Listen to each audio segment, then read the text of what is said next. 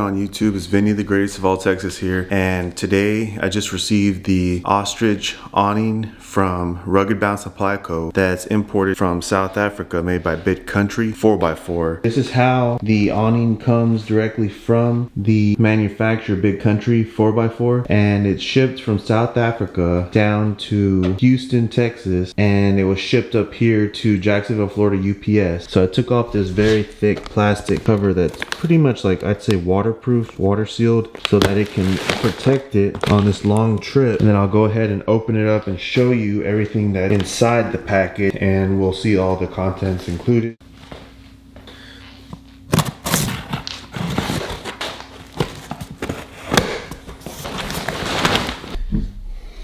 So you can see inside the box that I just cut, be very careful that you're not gonna cut and possibly cut your awning if you're using a very sharp knife like I have. So you can just see that everything's packaged very securely. It has foam, bubble wrap, and I wanna say this should be the LED light kit. So we'll go ahead and open it up and see what's in there. So this is pretty cool. The LED strip that you can connect to your battery terminals or you can do it to a cigarette lighter, your um, DC. And then this is the control knob right here, which it's a 6000K to 2700K. So you can change the color on that. And this is the LED strip that we're gonna install and check it out later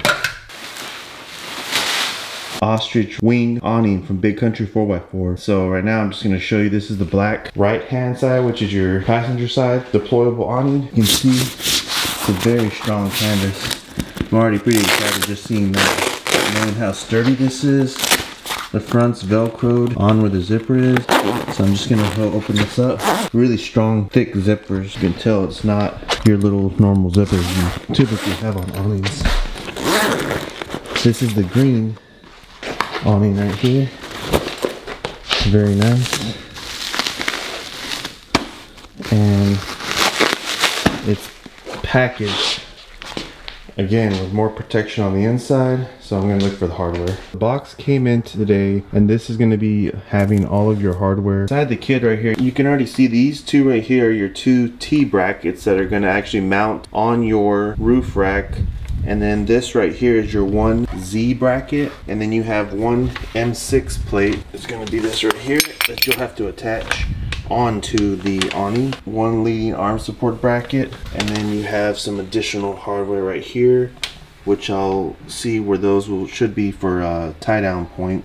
Bottle opener that goes right there. It's pretty cool. And then you also have your instructions right here that will give you detailed layout for whichever roof rack you have, how you will follow it with also um, really good photos to give you a better explanation because I always like seeing stuff. It's kind of hard for me just to read. I like to have a visual image and so this is going to give you even more resources for the install. This is going to be your rear mounting point and in the kit you have a second bracket that you're supposed to put. So you can put this no less on the instructions. It says you're supposed to put it no less than 70 71 inches spaced apart. Right here is where I'm gonna put mine at 71 inches. So I'm gonna take off these screws on the back, insert them into this track right here, cut little slits to put the bar right there. And once that's on, then I'll have my two brackets for the rear. Then you need to make sure that you have on your back plate, you gotta leave some space for your Z bracket. So you need about five and a half inches or so from this to the back, which should be the rest of the rack to add on your Z bracket bracket. And so that, once you get this set up, really simple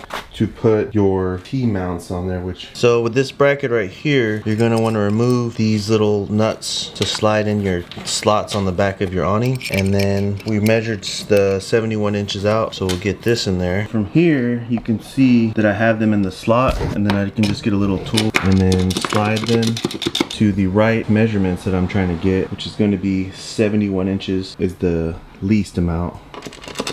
So once I get these slid over here across this track, then we'll put this bracket right there, cut two little slots. So from here you see we got the 71 inch mark. So I went ahead and put two little puncture holes to get the screws through on the back of the awning so I can fit this right there to mount it. So right now you can see I have installed the M6 track plate and I put the um, track bolt into position and then I used the uh, M6 square nuts into the backing of the grooves. After that, you know, I cut a little slit into the canvas bag to fit these bolts through, make sure they're very tight and sturdy. Measured it. Now it's gonna be a whole lot easier just to get the uh, you know T bracket on the roof rack, and then it'll be able to set it up easier for there back there you got the Z bracket which gives it a lot of support. And then there's another bracket right next to it. And then if you come over here there's the front bracket right there. I feel like it's going to be very sturdy and not going to have any issues. But if you have a front runner roof rack not a big country 4x4 roof rack like this one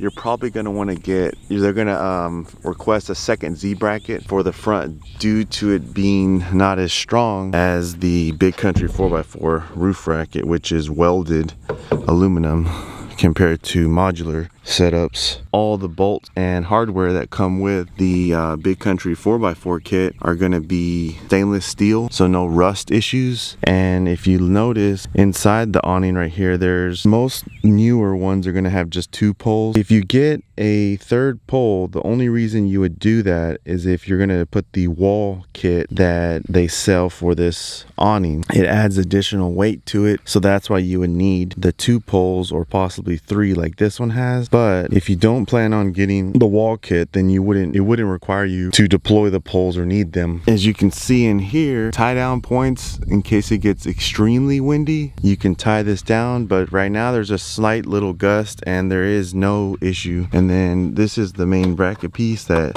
mounts to the roof rack mount. Another thing that I haven't done, mainly when it's raining, you're gonna wanna pop up these stands right here and what that will do is allow the water to not pile up on top of the awning. But overall, been a spectacular um, quality awning and I don't mind the larger size because it just means it's easier to deploy. And I hope that this video helps you in making your purchase and deciding which awning is best for you. And I just have to say like if you make this choice, you won't be upset. I know I'm not because starting off from the traditional awnings that you just deploy, um, rolling out and then propping up takes a long time time you burn out your forearms. You're not always trying to get a workout out on the trail or while camping. And then the other thing is that second style awning I had just the quality and the material. If you go back and check my old videos you could see a video on that one. And I will post a new video once I get the additional wall kit just to show you how that sets up. And then I'm going to also install the lighting. But you can see there's very stout zippers in there. Very strong zippers good canvas material. Follow me on Instagram greatest of all Texas for more uh, FJ content, camping, gear reviews, and I'll see you later. Have a good one.